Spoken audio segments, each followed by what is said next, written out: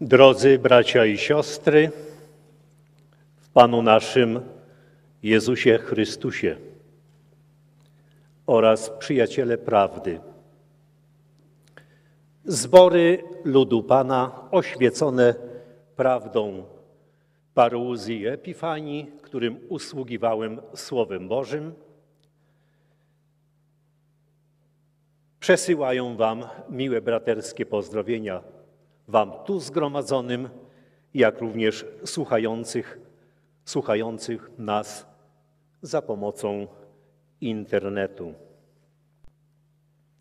Jestem szczególnie wdzięczny Najwyższemu Bogu, Jehowie, za Jego hojną łaskę, która pozwoliła i pomogła mi przygotować wykład pod tytułem Państwo Izrael owocem Bożej opatrzności. Na podstawie proroctwa Ezechiela, jedenasty rozdział, werset siedemnasty.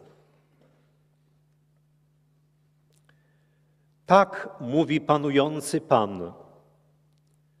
Zgromadzę was z narodów, a zbiorę was z ziem, do którecheście rozproszeni i dam wam ziemię izraelską.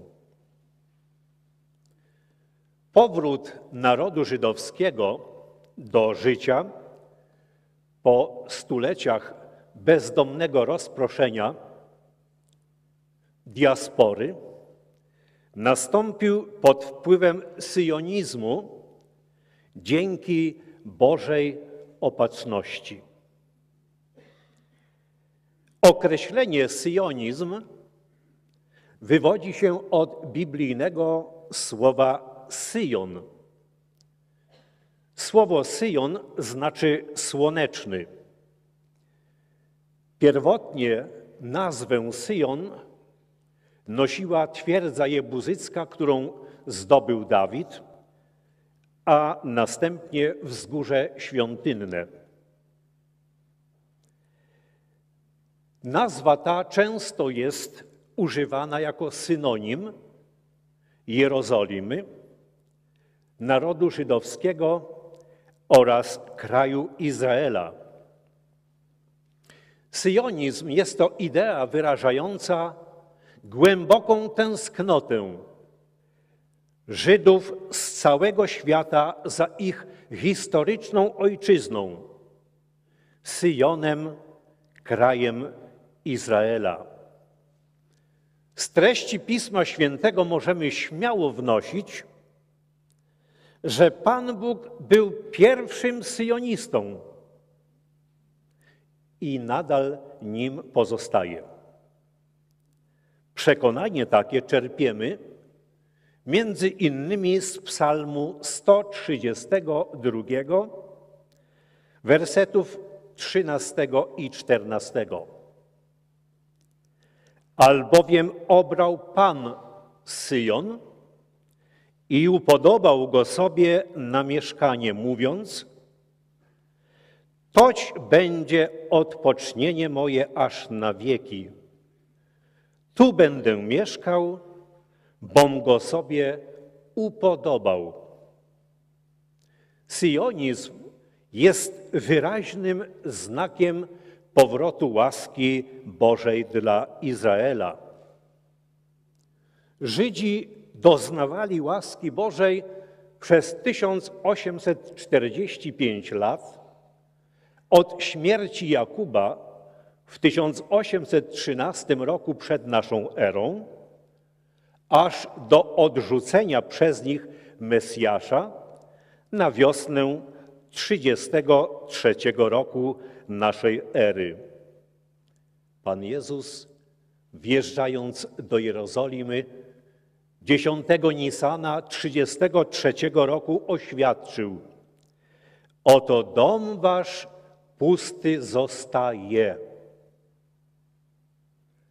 Ewangelia Mateusza, 23 rozdział, 38 werset. Potem lub od tego czasu nastąpił ich dwójnasób. Kefel, według proroctwa Izajasza, 40 rozdział, drugi werset, i Miszna, według proroka Jeremiasza, 16 rozdział, werset 18. Czyli powtórzenie 1845 lat dla czasu niełaski za ich odrzucenie Jezusa, który to czas zakończył się na wiosnę 1878 roku. Znamienny rok. 1878. Naród żydowski przez wieki znajdował się na wygnaniu, a bardzo mało Żydów było w Ziemi Świętej, lecz wszędzie byli bardzo źle traktowani. Od tego czasu, od roku 1878, boska łaska zaczęła powracać do Izraela. Izajasz proroczo wzywał, 40 rozdział, wersety pierwszy i drugi. Cieszcie, cieszcie lud mój, mówi Bóg wasz. Mówcie do serca Jeruzalemu. Ogłaszajcie mu, że się już dopełnił czas postanowiony Jego, że jest odpuszczona nieprawość Jego i że wziął z ręki pańskiej w dwójnasób, kefel, za wszystkie grzechy swoje. Powrót łaski Bożej dla Izraela obejmuje dwa zarysy. Pierwszy, powrót Izraela do Palestyny, o czym mówi proroctwo Jeremiasza, 32 rozdział, werset 37 i drugi zarys, uleczenie Izraela z jego częściowej ślepoty, o czym czytamy w Ewangelii według świętego Mateusza, 23 rozdział, 39 werset oraz list do Rzymian, 11 rozdział i werset 25. Należy jednak pamiętać, że sposób ich powrotu do łaski będzie stopniowy, tak jak stopniowym był proces utraty przez nich łaski Bożej. Obydwa zarysy łaski Bożej zaczęły się wypełniać od czerwca 1878 roku. Syjonizm przybrał w XIX wieku formę ruchu narodowego z powodu ówczesnego jadowitego antysemityzmu. Semityzm, semici. Abraham był prekursorem rasy semickiej, która obejmuje zarówno Żydów przez Izaaka, jak i Arabów przez Ismaela. Niezgoda pomiędzy Sarą i Hagar, spowodowana przez pogardę Ismaela dla Izaaka oraz późniejsze wyrzucenie Hagar i jej syna, dało początek wiekom wrogości między dwiema gałęziami potomków Izraela, Abrahama.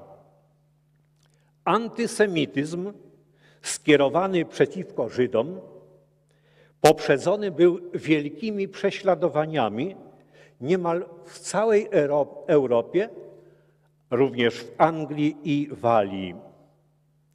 Wtedy rozpoczęto czynić starania o wykorzenienie Żydów z różnych krajów europejskich.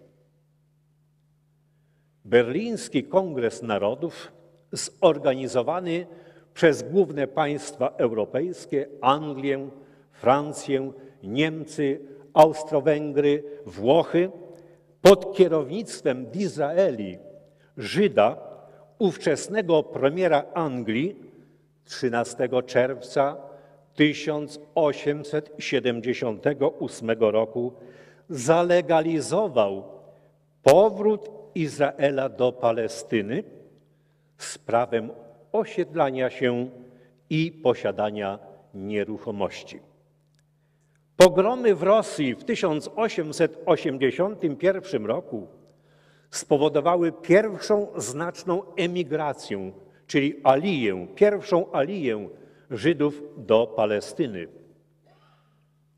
W atmosferze nasilających się prześladowań wyrośli żydowscy przywódcy, którzy stanęli na czele ruchu syjonistycznego. W wyniku działań tego ruchu i nasilenia się prześladowań wielu Żydów powróciło do Palestyny w dużej mierze z powodu działalności rybaków i rybitwów, o czym mówią proroctwa. Czytamy proroctwo Jeremiasza, 16 rozdział, wersety 15 i 16. Jako żyje Pan, który wyprowadził synów izraelskich z ziemi północnej, z Rosji i ze wszystkich ziem, do których ich wygnał, i sprowadzę ich z powrotem do ziemi, którą dałem ich ojcom. Oto ja poślę po wielu rybaków, mówi Pan, i ci ich wyłowią. Potem poślę po wielu myśliwych i ci ich upolują na każdej górze, w każdym królestwie, w każdym państwie i na każdym pagórku, w każdej republice i w rozpadlinach skalnych, w każdej instytucji, która dawała im schronienie, jakże wymowne są te słowa prorocze. Rybakami są ci, którzy używają atrakcyjnej przynęty syjonizmu, by przyciągnąć Żydów do ich ojczyzny. To mężowie stanu, intelektualiści i duchowi Izraelici. Pracę łowienia rozpoczął w 1882 roku Leon Pinsker, rosyjski lekarz i filozof żydowskiego pochodzenia, zwiastun doktora Teodora Herzla. W Odessie założył on tygodnik Sion, w którym zaczął przypominać czytelnikom o wielkiej przeszłości narodu żydowskiego. W tym samym roku napisał książkę pod tytułem Samowyzwolenie, ponieważ Żydzi mogą być atakowani z każdego punktu widzenia. Wtedy pisał: Dla żywych Żyd jest umarłym. Dla ludzi miejscowym obcym i włóczy kijem. Dla biednych wyzyskiwaczem i milionerem. Dla patriotów człowiekiem bez ojczyzny. Dla wszystkich warstw społecznych znienawidzonym rywalem. Teodor Herz, austriacki Żyd, prawnik, później paryski dziennikarz, wydał w 1895 roku swoje dzieło pod tytułem Państwo Żydowskie i przekształcił syjonizm jako ruch narodowy w ruch polityczny. Idea Herzla została entuzjastycznie przyjęta przez masy żydowskie Europy Wschodniej. W tych warunkach Herz zwołał i przewodniczył pierwszemu kongresowi syjonistycznemu, który obradował w Bazylei, Szwajcaria, w dniach od 29 do 31 sierpnia 1897 roku, na którym przyjęto deklarację. Syjonizm dąży do stworzenia w Palestynie domu dla narodu żydowskiego, zabezpieczonego przez prawo międzynarodowe. Potem Herz notuje w swoim pamiętniku. W Bazylei stworzyłem państwo żydowskie. Gdybym powiedział to publicznie, świat by mnie wyśmiał. Jednak za pięć lat, a z pewnością za pięćdziesiąt lat, powstanie państwo Izrael. I ten fakt wszyscy uznają. Zapowiedź Herzla była trafna, ponieważ 50 lat później, w 1948 roku, powstało państwo Izrael. W rezultacie działań pionierów ruchu sionistycznego do Palestyny zaczął wkrótce wpływać strumyk imigrantów, którzy, który po jakimś czasie przeobraził się w wielkie fale alii, czyli powrotu. Żydzi zaczęli powracać do swego domu, na swoje dawne tereny, ale musieli kupować ziemię od Arabów. Kupowali tę ziemię pustą i jałową po niewyobrażalnie wysokich cenach. Osuszali moczary i bagna, rojące się od robactwa, komarów i wszelkich insektów. Prorokował o tym prorok Jeremiasz. Czytamy 32 rozdział, werset 43. Wtedy będą kupować rolę w tej ziemi. Spustoszona jest tak, że w niej nie masz ani człowieka, ani bydlęcia. Podana jest w rękę Chaldejczyków. Przybysze zasadzili ponad 200 milionów drzew.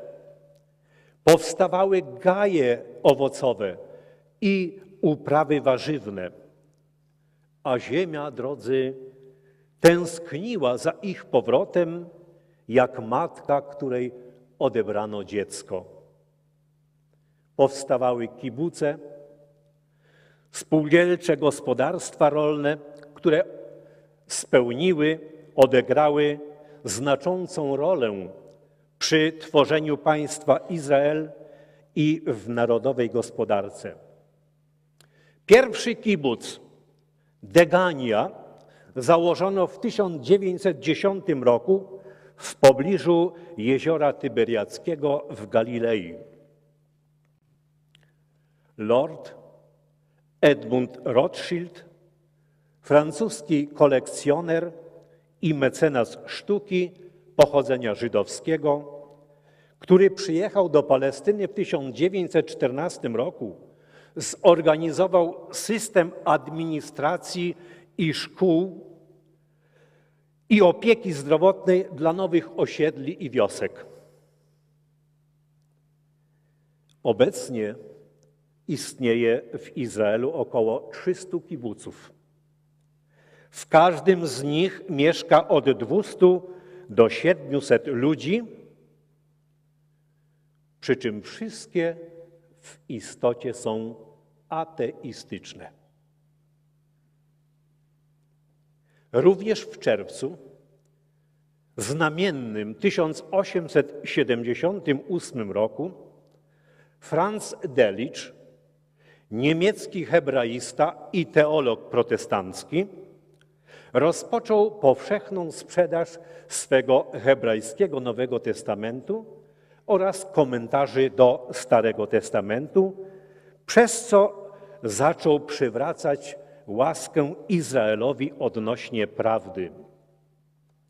Obecnie cała Biblia, Nowy i Stary Testament jest powszechnie rozpowszechniana, bardzo aktywnie wśród ludności żydowskiej i używana jest w szkołach jako podręcznik jako dzieło podręczne.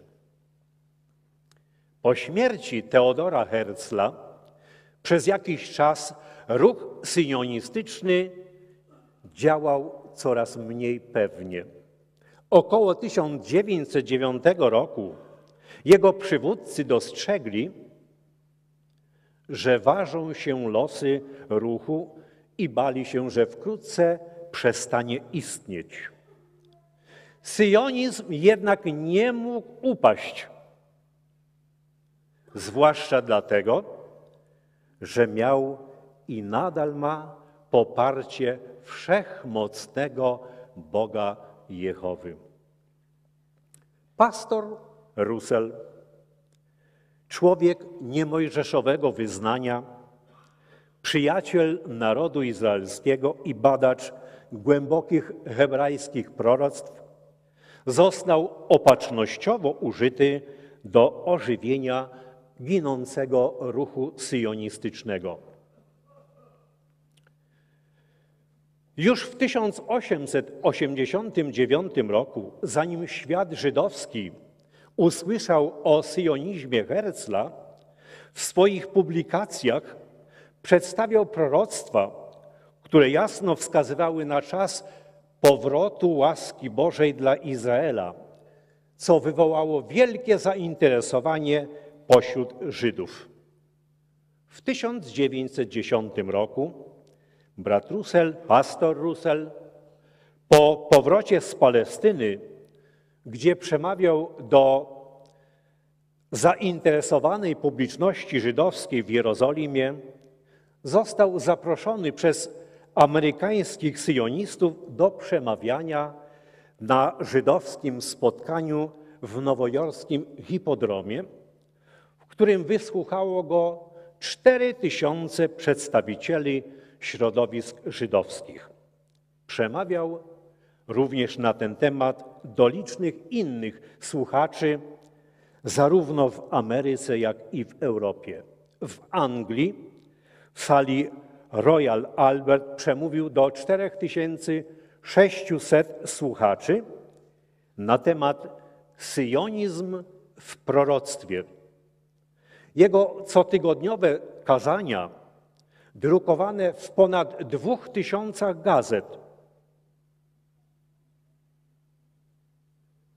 podejmowały temat narodu żydowskiego i powrotu łaski Bożej dla tego narodu.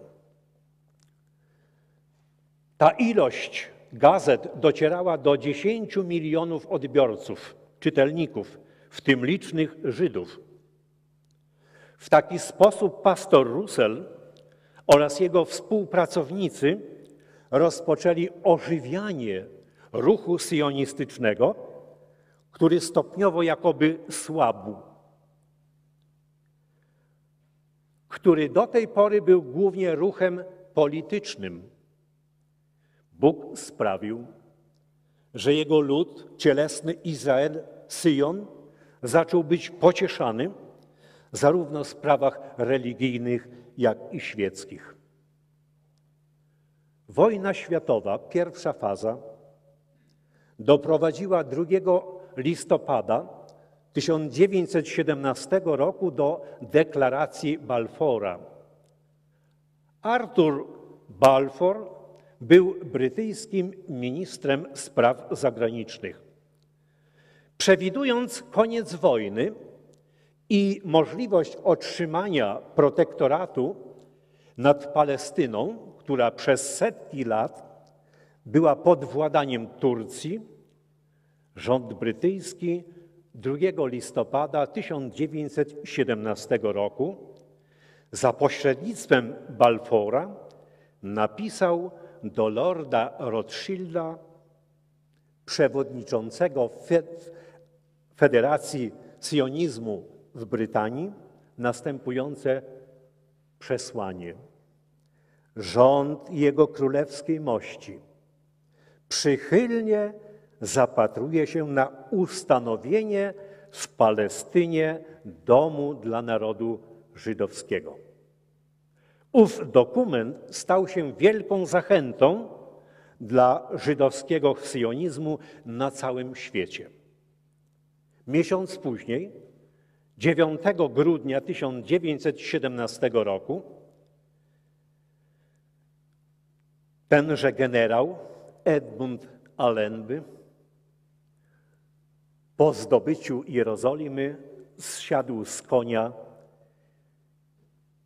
pełen pokory, szlachetnej pokory, pieszo wszedł przez bramę Jafy do miasta Jerozolimy. Wielka Brytania otrzymała mandat nad Palestyną w kwietniu 1920 roku. I wtedy też nastąpiła wielka emigracja Żydów do Palestyny, o czym brat wczoraj wspominał, mówiąc o Izajaszu 60 rozdział, werset 9 o statkach Starsis. Gwałtownie również nasilała się działalność łowców, którzy zaczęli ścigać i zabijać, co sprawiło, że rzesze Żydów w popłochu uciekały do ojczyzny. Pogromy Żydów były szczególnie krwawe w Rosji, na Ukrainie i w Polsce, ale najbardziej w Rumunii. Zamordowano setki tysięcy Żydów. Około 1928 roku ludność żydowska w Palestynie wynosiła 170 tysięcy osób. Wzrastał arabski protest przeciwko napływowi imigrantów. Wielka Brytania, wrażliwa na wpływy arabskie i zaalarmowana arabskimi buntami, użyła w 1930 roku tak zwanej Białej Księgi, zalecając moratorium, czyli odroczenie w związku z dalszą żydowską imigracją. Statki płynące z tysiącami wyczerpanych przybyszów zawracano od brzegu upragnionej ziemi, a wielu w rozpaczy rzucało się w nurty morza. Zatapiano statki z tysiącami ludzi. Przerażenie ogarnęło Żydów, a tarcia między Arabami i Żydami nie ustawały. Niemiecki atak na Żydów, trwający od 1933 roku do 1945, jest zupełnie centralnym wydarzeniem współczesnej historii narodu żydowskiego. Nastąpiła masowa zagłada, Holokaust albo Shoah. W czasie II wojny światowej z rąk nazistów zginęło 6 milionów Żydów. Komory gazowe obozów pracowały z zatrważającą prędkością. Niszczono Żydów pod byle jakim prote protekstem. Dziecko trzymane przez matkę na rękach, które chciało okruszek chleba podjąć z ziemi lub skórę psującego się ziemniaka. Było zabierane z rąk i rozbijano głowę o mur. W obliczu matki.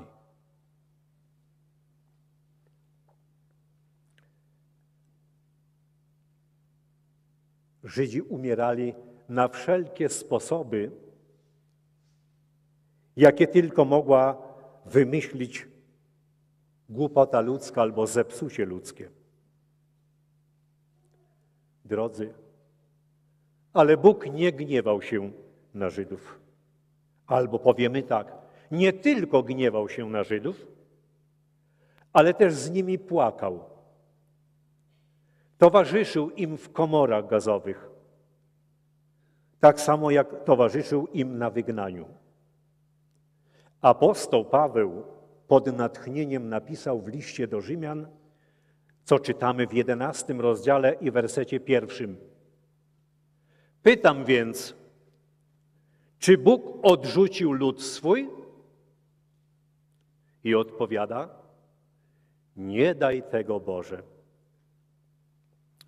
Najważniejszą lekcją, jaką wynieśli Żydzi z Holokaustu, było przekonanie o przemożnej potrzebie zapewnienia stałego miejsca schronienia.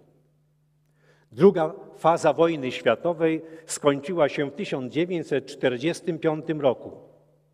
Brytania, obarczona wojennymi długami, społecznymi i politycznymi niepokojami w swej wspólnocie narodów, ogłosiła zamiar zrezygnowania z mandatu Narodów Zjednoczonych nad Palestyną, oświadczając, że nie jest w stanie rozwiązać konfliktu izraelsko-arabskiego.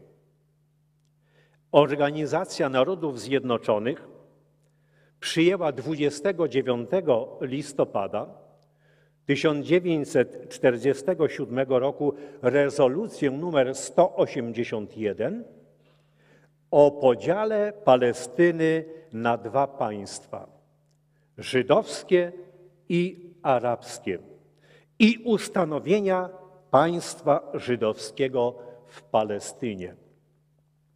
Społeczność żydowska zaakceptowała ten plan, ale Liga Państw Arabskich i społeczność arabska w Palestynie odrzuciła go.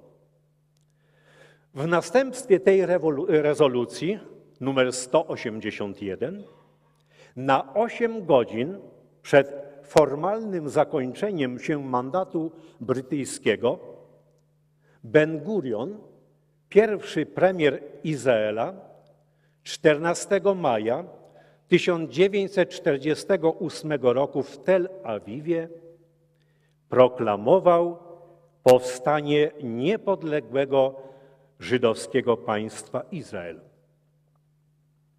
Żydzi zamieszkali w swojej ojczyźnie, do której nie mieli wstępu przez ponad 2520 lat.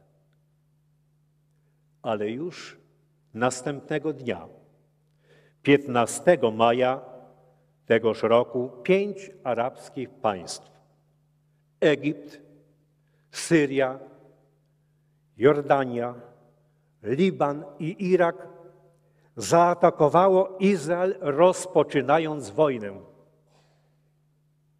Pierwszy dzień istnienia państwa. Gdy opadł pył wojny, olbrzym Goliat leżał pokonany. Izrael okazał się zwycięzcą, jak niegdyś Dawid. Pomimo sześciu tysięcy zabitych i innych ofiar, Izrael przetrwał i w rok później był o tysiąc mil kwadratowych większy. Ale nie przez agresję, lecz przez rozpaczliwą obronę. Arabskie państwa odmówiły istnienia państwa Izrael. To też po klęsce arabskich państw w sześciodniowej wojnie 1967 roku palestyńskie organizacje zbrojne niezainteresowane pokojem rozpoczęły serię ataków terrorystycznych w Izraelu na cele w samym kraju Izraelu, Izraela i na cele izraelskie na całym świecie.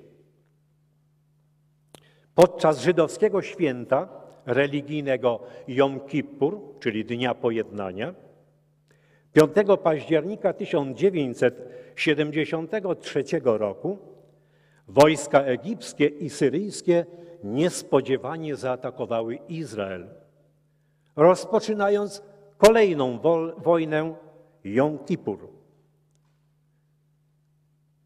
Wojna zakończyła się zwycięstwem Izraela. Egipcjanie i Syryjczycy zostali odparci kosztem wielkich strat własnych, jak bywało to już w historii.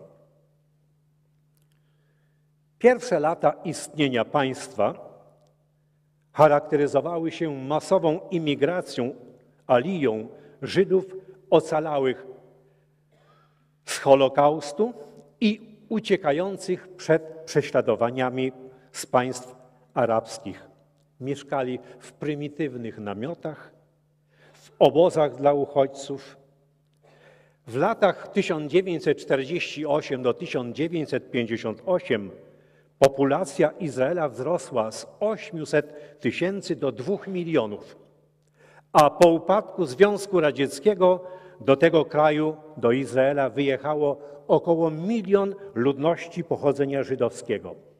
Obecnie w Izraelu mieszka ponad 8 milionów mieszkańców, zgromadzonych z ponad 100 krajów świata.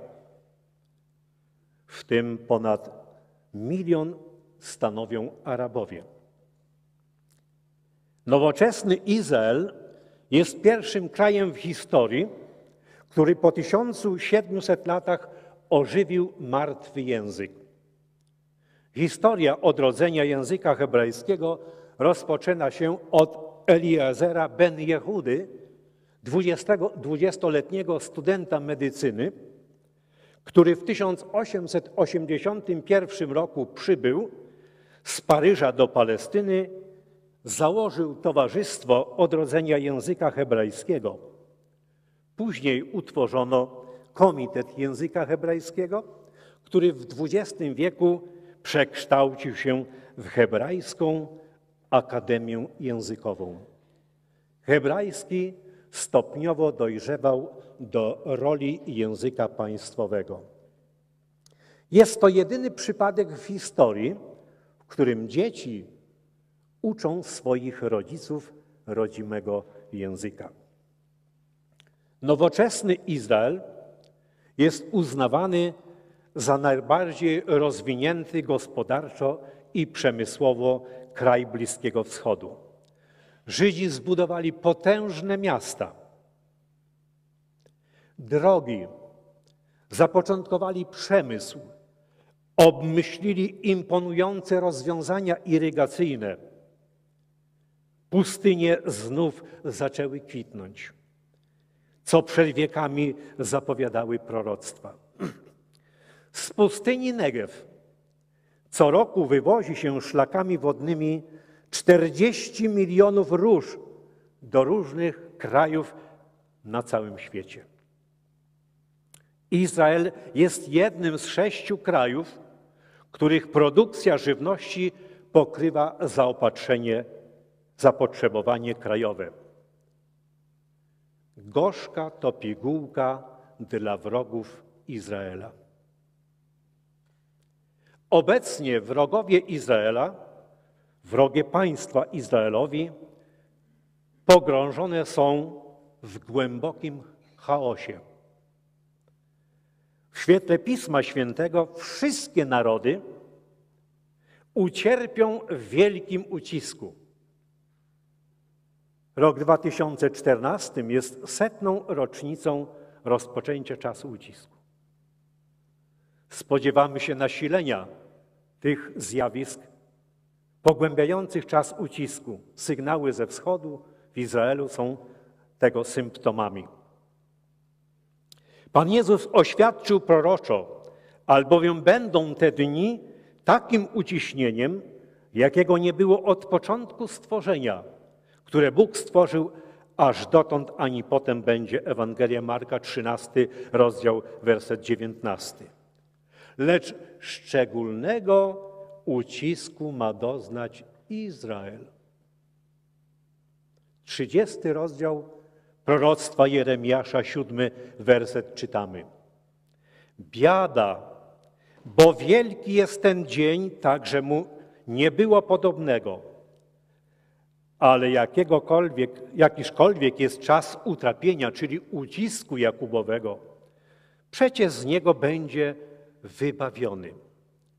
Pierwsza część ucisku Jakubowego zaczęła się w 1881 roku, kiedy rozpoczęło się wypędzanie Żydów z różnych krajów europejskich i gromadzenie ich w Palestynie. Druga część ucisku Jakubowego nastąpi po rewolucji, przy końcu światowej anarchii. Rosnące bogactwo i pomyślność Izraela pobudzi chciwość i agresję narodów. Te narody, których prorok Ezekiel, które nazywa prorok Ezekiel Gog i Magog, splądrują kraj Izraela i sprowadzą resztki kielicha nieszczęść na te narody. Prorok Zachariasz pisze tak, co czytamy w 14 rozdziale, drugim wersecie. Bo zgromadzę wszystkie narody przeciwko Jeruzalemowi na wojnę, a miasto wzięte będzie i domy rozchwycone będą i niewiasty pogwałcone będą, a gdy pójdzie część miasta w pojmanie, ostatek ludu nie będzie wygładzony z miasta. Druga część ucisku Jakubowego ma na celu upokorzenie i nawrócenie niewierzących Żydów do wiary w Jezusa jako Mesjasza, którego ukrzyżowali, czego będą gorzko żałować. Proroctwo Zachariasza mówi o tym, 12 rozdział, werset 10. Ale bardzo ciekawe rozwiązanie podaje tenże sam prorok w 14 rozdziale i wersecie trzecim. Bo wyjdzie Pan i będzie walczył przeciwko onym narodom, jako zwykł wojować w dzień potykania za czasów królów i sędziów. Nawróceni z Izraela pod nowym przymierzem, pod kierownictwem starożytnych i młodocianych godnych, będą misjonarzami lub jak brat wczoraj wspominał, synami restytucji, będą przyprowadzać narody świata do królestwa Mesjasza. Czytamy proroctwo Izajasza, drugi rozdział, werset trzeci.